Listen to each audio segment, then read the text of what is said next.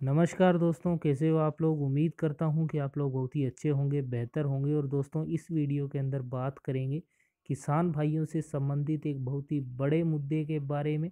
और जैसा कि आपको मालूम है दोस्तों कि बहुत सारे किसान भाइयों ने किसान क्रेडिट कार्ड के ऊपर जो ऋण है वो ले रखा है। और इसके बारे में बैंक के द्वारा एक महत्वपूर्ण और बड़ा नोटिस जो है वो आज जारी किया गया।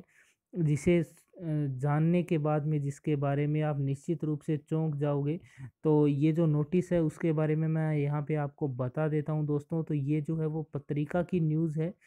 तो केनरा बैंक ने किसानों को केसीसी ऋण अदायगी करने के लिए नोटिस जारी किया है। नोटिस पाकर किसान सख्ते में हैं क्योंकि जारी नोटिस के अंदर किसानों को 10 दिन में ऋण की जो राशि है वो अदा करने के लिए कहा गया है। और केनरा बैंक की पाडूरना ब्रांच ने ग्राम हिवरा सेंडवार के किसानों को नोटिस जारी कर ऋण अदा नहीं करने की सूरत में बैंक प्रबंधक से मिलकर चर्चा करने के लिए कहा है। इस नोटिस के जारी होने को लेकर दिन भर ऋण माफ़ी योजनाओं को लेकर चर्चाएँ जो है वो चलती रही।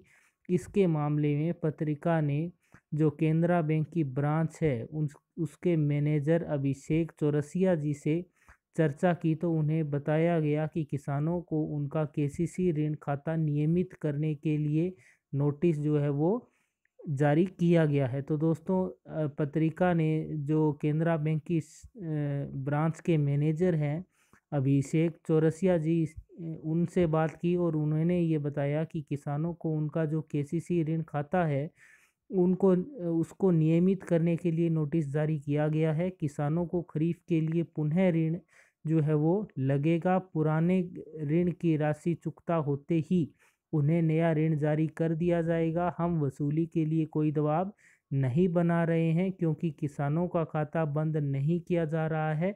उनका तो केवल नवीनीकरण किया जा जा रहा है ताकि किसानों को फ़सल के लिए बराबर ऋण मिलता रहे। तो ये बात जो है वो अभिषेक चौरसिया जी, जो कि मैनेजर हैं केनरा बैंक के अंदर तो उन्होंने कही है। तो दोस्तों, आपको जो पूरी न्यूज़ है वो पता चल गई होगी यहाँ पे। और उम्मीद करता हूँ कि आपको ये वीडियो पसंद आया होगा। अगर आपको इसी तरह की और वीडियो चाहिए तो ज़रूर वीडियो को लाइक करना, कमेंट करना और चैनल को ज़रूर आप सब्सक्राइब कर लीजिए। फ़िलहाल दोस्तों, आपका वीडियो को पूरा देखने के लिए बहुत बहुत धन्यवाद।